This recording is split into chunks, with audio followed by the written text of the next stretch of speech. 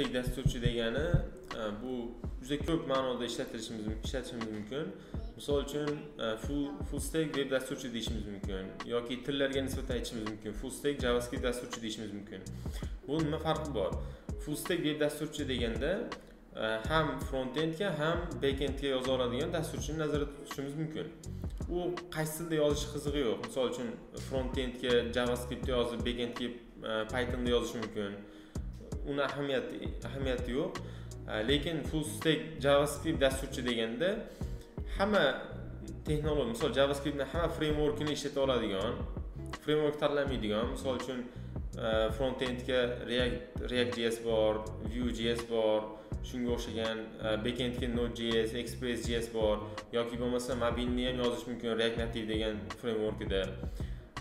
Hammasida ishlay oladigan odamga aytiladi. Xuddi shunaqa boshqa yo'nalishlarda ham shunaqa full stack dasturchi deyishimiz mumkin. Shunaqa ma'noni anglatadi. Boshqa yo'nalishlarda ham full stack dasturchi xuddi shu kabi ma'nolarda anglatadi.